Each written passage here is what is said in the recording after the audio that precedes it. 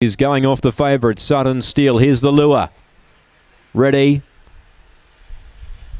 And away. Sudden Steel pounced on the lead early. It's going to run over and find the lead. Paddy Max goes with him though, and the two big guns are 1 2. Sudden Steel led from Paddy Max and McLaren Chief to third. They wheel out of the straight now. Running wide was Sequoia, making ground the inside Von Dusa. Then Alan Mondo Bacalia's flyer, and there's one completely tailed off. That's Emily Ice. Sudden Steel led by three lengths here. Trying hard, Paddy Max. She is coming. Three lengths away to Von Dusa, winding up Sequoia. Leader still is Sudden Steel.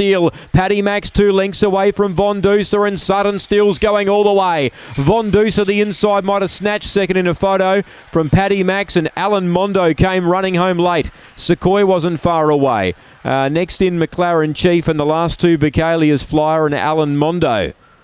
Five will win, and I reckon four's got through to get second. Von Duser on the line. It'll be five from four. One will be third ahead of number eight, I feel. Maybe in that order. Yep, five, four, one, eight, five, four, one, eight. That's the way they'll be here.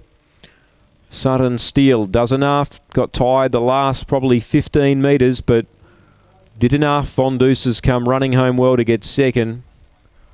And Paddy Max on the inside, she certainly had her chance. She ran third, 8 4th, Alan Mondo.